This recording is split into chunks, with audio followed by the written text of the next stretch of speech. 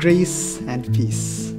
Dear brothers and sisters, welcome to the reflection on the fourth week of Easter.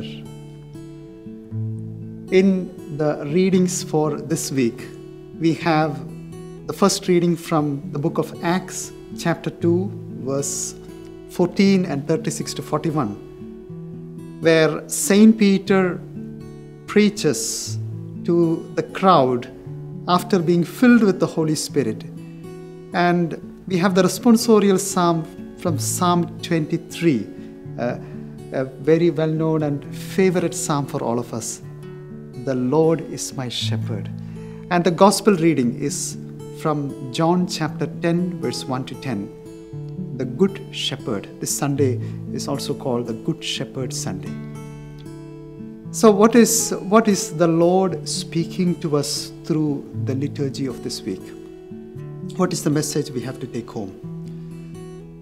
From the first reading, we hear Saint Peter speaking to all of us. And the core, if we uh, listen carefully to that reading, the core of that message is Acts chapter 2, verse 38, where the people asks Peter, what are we to do? And St. Peter answers. He tells us, You must repent.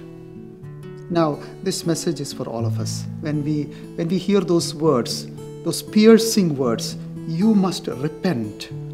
You know, we have to, this means we have to look at our lives a bit more seriously. Where am I going? Am I going in the right direction? And repentance, we know it's a change of heart or a turning back. And let us all this week again analyze our lives. Look at ourselves. Are we going in the right direction? Am I going? There are only two paths. Either we are going closer and closer to the Lord daily, or we may be straying from His path.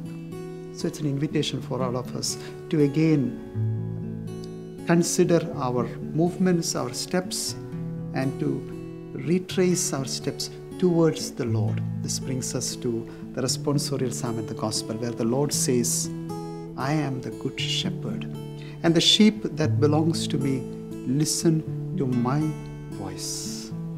Dear brothers and sisters, let us again, this Sunday, once again, look at Jesus, the good shepherd, who leads us, who is so faithful to us, who looks after us, who cares for us who goes on ahead of us beyond all the problems of life, our sins, our failings, our depressions, our weaknesses.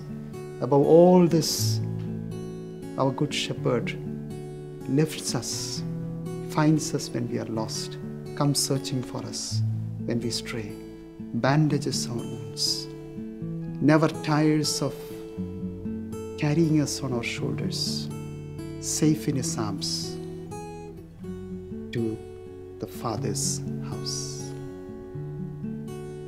God.